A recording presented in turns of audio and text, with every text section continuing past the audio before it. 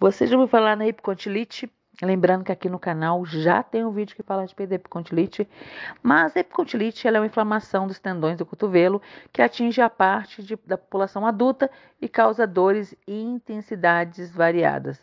Então, se você já ouviu falar ou não ouviu falar, mas quer saber mais também, te convido para assistir o vídeo até o final, tá bom?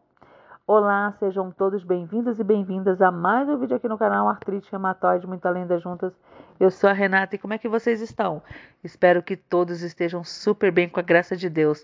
Gente, já deixa aquele like que eu fico muito contente, me ajuda bastante, me dá muita força e ânimo para me continuar com os vídeos aqui do canal e não se esqueça de se inscrever se não é inscrito, gente. Se inscreva, ative o sininho. Os vídeos são de segunda a segunda com horários aleatórios. Por isso que é importante você ativar o sininho, assim você não perde nenhum vídeo novo aqui no canal. Eu tenho também um grupo no WhatsApp onde você pode participar, independente da sua enfermidade. Vem participar, vem desabafar, vem trocar informações. E também o Facebook, que tem grupo e página também. E outras redes sociais também. Se você tiver Instagram, vai lá, Twitter, enfim. Fica à vontade aí para interagir nas redes sociais do Artrite, tá bom? Gente, a epicontilite, ela afeta de 1 a 3% da população e afeta principalmente pessoas entre 35 e 50 anos que praticam atividades com movimentos repetitivos do punho e dos dedos. Os dois tipos de inflamação recebem nomes de lateral e medial. Na região próxima à articulação do cotovelo, o osso do húmero, ele possui duas protuberâncias chamadas de gódilos é a partir dessa identificação dos tendões, dos tendões afetados que tem o um nome apropriado dos dois tipos de tendões, que é a epicondilite lateral, que é a inflamação dos tendões na parte externa do cotovelo, envolvido nesse caso é do músculo externo radial curto do carpo, tá? Por isso é epicondilite lateral é também conhecida como epicontilite externa.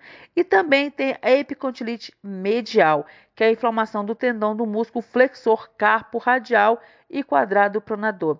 A origem deles, desses tendões, gente, flexores, é a epitrocleia, tá? Que é o côndilo medial, localizado na parte de dentro do cotovelo. Por isso, é o nome aí que muitas vezes é referido como epicontilite interna também. Mas o que pode causar então a epicontilite? Gente, a sobrecarga, que é devido aos movimentos excessivos do braço, do cotovelo e que promove o que? O desgaste dessas regiões. Com isso, pode ocorrer fissuras nos tendões, iniciando um processo inflamatório. Para o diagnóstico mais preciso, a pessoa precisa estar atento se um ou mais sintomas da inflamação vai aparecer. Então, vamos lá para alguns sintomas que você tem que observar. A dor no cotovelo é uma das principais formas de poder identificar a epicontilite, podendo também tornar-se intensa e atingir o antebraço e o pulso. Alguns sintomas aí, ó. Irradiação da dor da parte externa do cotovelo para o antebraço e para as costas da mão. Dificuldade de segurar objetos, fraqueza, rigidez muscular, sensibilidade na região afetada. Então, é observado, gente, que o braço dominante, isto é, mais utilizado pela pessoa, é habitualmente o mais afetado. Olha, evitar, para prevenir a epicontilite, evitar a realização de atividades que exijam, gente, movimentos repetitivos do punho e dos dedos, que pode ajudar muito a prevenir. Procurar fazer exercício de alongamento para poder melhorar o condicionamento antes de você realizar algumas atividades que também podem ser úteis, tá?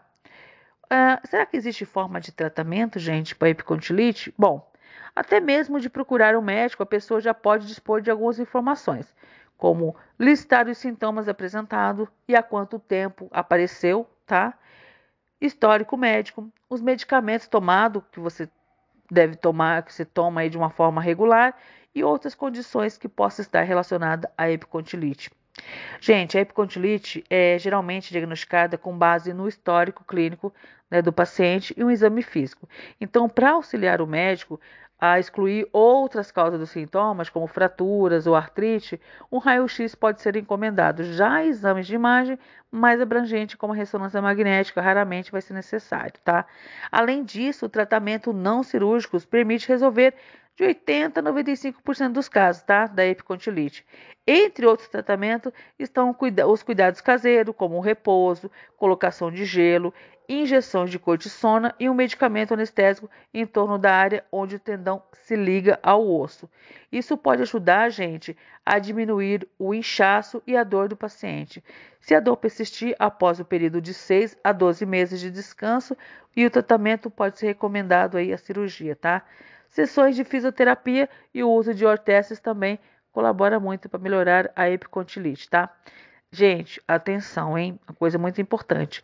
Somente um médico ele pode dizer qual que é o medicamento mais indicado para o seu caso, informando a dosagem correta do medicamento e a duração do tratamento, tá bom? É sempre importante procurar um profissional e nunca se automedicar.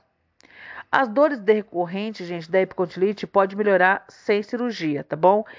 Entretanto, a maioria das pessoas que precisam passar por um procedimento como este é fazer é, hoje pleno uso do seu cotovelo e do antebraço. Para mais informações e novidades, é sempre importante falar com seu médico, tirar informações, não ficar se automedicando, como eu falei, e nem tomar atitudes precipitadas para não poder agravar mais a situação. Tá bom, gente?